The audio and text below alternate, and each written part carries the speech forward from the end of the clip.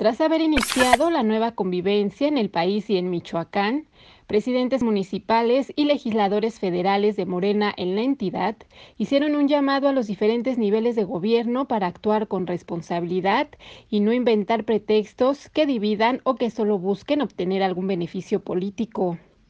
En rueda de prensa realizada en Morelia y de manera simultánea en los municipios en donde gobierna el partido de izquierda, la diputada federal Ana Lilia Guillén Quirós refirió que el gran reto de esta pandemia contra el coronavirus será la construcción de la unidad y la promoción de la solidaridad entre los ciudadanos independientemente del estatus social, creencias religiosas e ideologías del partido. La legisladora hizo un llamado a los tres órdenes de gobierno para formar un frente común que de manera responsable atienda las recomendaciones del Consejo de Salubridad General. Encontrar las claves que nos permitan actuar unidos y con mayor contundencia es lo responsable, no andar buscando o inventando pretextos que nos dividan. Ante este escenario complejo que nos está costando vidas y para el cual ni el mundo ni el país estábamos preparados, debemos actuar más unidos que nunca. Las horas perdidas en inútiles querellas se pagan con vidas perdidas.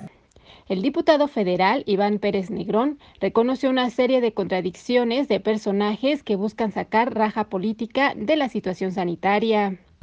Hoy efectivamente ha habido una serie de contradicciones entre aquellos que de manera muy irresponsable pretenden sacar raja política en un momento en donde, reitero, necesitamos la unidad, la solidaridad. Hoy lo que tenemos que hacer es agradecer el gran esfuerzo que están haciendo todos los órdenes de gobierno, sin ver ideologías, sin ver partidos. El llamado del presidente Andrés Manuel López Obrador ha sido muy claro.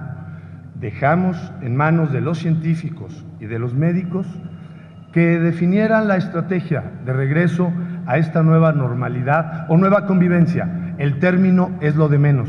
Lo que necesitamos es seguir transitando juntos. El presidente municipal de Morelia, Raúl Morón Orozco, solicitó al gobierno del estado que se emitan las cifras del avance de los casos de COVID-19 por municipio, como se realizaba desde un principio, ya que son fundamentales para que los ayuntamientos tomen las decisiones pertinentes durante esta nueva etapa. Sí es importante que los municipios tengamos diariamente el avance la estadística de cuántos datos más tenemos, porque eso nos está permitiendo a los municipios tomar decisiones, sí, basados en la información técnica y científica del gobierno federal, de los gobiernos locales, y obviamente la responsabilidad que tenemos nosotros en los municipios es cómo vamos a ir avanzando.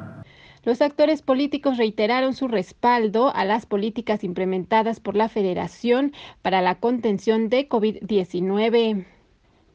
Con imágenes de Ricardo Zarco, Miriam Mesa, Notivideo.